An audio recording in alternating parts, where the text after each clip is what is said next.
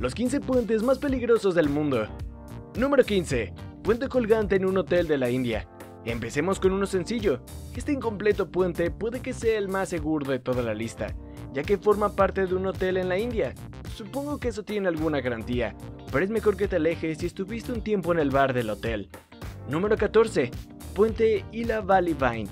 En Japón existen valles escondidos. Uno de ellos es este, el cual dicen se puede admirar los ríos más cristalinos, la más misteriosa niebla y una casa de paja que remonta a la época de hace más de 100 años.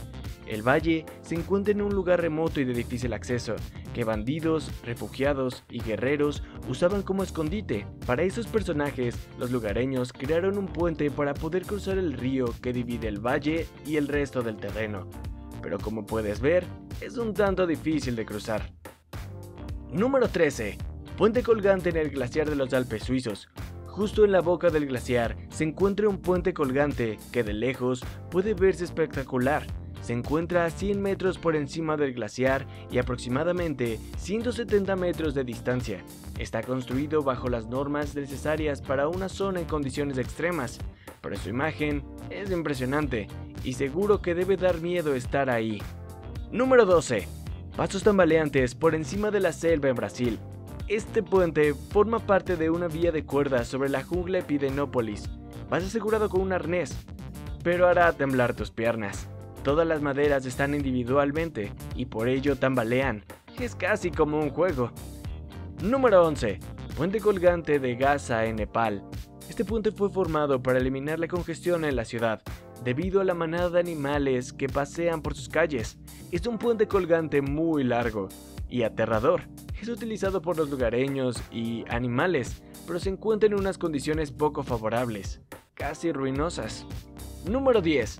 Puente en Monte Nimbus, Estados Unidos. Este puente que cuelga a una gran altura es el sueño de las bromas pesadas. Parece que pusieron una madera sí y una madera no. Es peor que un flan. Mejor no veas algo que no sean esas nubes. Número 9. Viaducto de Milao en Francia. Hecho un 14 de diciembre de 2004, de 244 metros sobre el río Tram, tiene 7 pilares de hormigón y una anchura de 32 metros. Número 8. Puente Indoboard, Indonesia. Los surfistas y los skaters estarán relacionados con este puente, porque tienes que entrar en un profundo equilibrio. ¿Cómo pasas un puente que es solo un hilo? Número 7. Puente V Inc., puente de teca más grande del mundo. Hace 250 años de ser construido y mide 1,2 kilómetros de alto. Se encuentra en Marapúa, aunque se han sustituido algunos pilares por algunos de hormigón para mayor seguridad. Número 6. Por encima del río Mekong. Este pasa por 7 países diferentes. Ofrece condiciones aleatorias, desde aguas tranquilas, aguas rápidas y aguas mortales.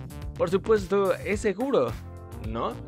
Pues si por seguro te bastan dos cuerdas para cruzarlo, entonces sí, muy seguro. Aunque a él parece bastarle. Número 5. Un selfie de miedo en Kashmir de miedo en el Himalaya. No solo es un puente deteriorado, sumamente peligroso e inestable, sino que una persona dijo, oye, ¿sabes qué cae bien? Una selfie a mi zapato, pero yo no voy a salir en la foto, ¿para qué? Número 4. Puente del Everest. Estos puentes no son permanentes. Los Sherpas los colocan cuando ayudan a los que escalan, pero son puentes que su función es ponerlo y quitarlo lo más rápido posible. Por ello, no son muy estables. Ahora imagina ir cansado, con una gran mochila y sin mucho a qué sujetarte. Número 3. Puente colgante Hussaini en Pakistán. Este puente colgante es uno de los más peligrosos del mundo y no es difícil adivinar por qué. Quien lo diseñó debería volver a la escuela de ingeniería, pero si te gustan las emociones fuertes o poner tu vida en riesgo, toma un boleto y ve a Pakistán. ¿A qué parte? No importa, hay muchos de ellos en toda la zona norte. Número 2. Un paseo y una caminata por el oeste de Nueva Guinea. Es un puente suspendido sobre rápidos del río Valiente. No va de orilla a orilla, también puedes ir hacia arriba. Mejor revisa dos veces a dónde vas antes de subirte. Número 1. Puente en la montaña Huayang, el sendero más peligroso en China. La gente asciende para llegar a los montes sagrados taoístas en la cumbre, pero el camino es sumamente difícil. Precisamente los monjes fueron los responsables del camino. Para lograrlo, puede llegar a tomar 10 horas a pie.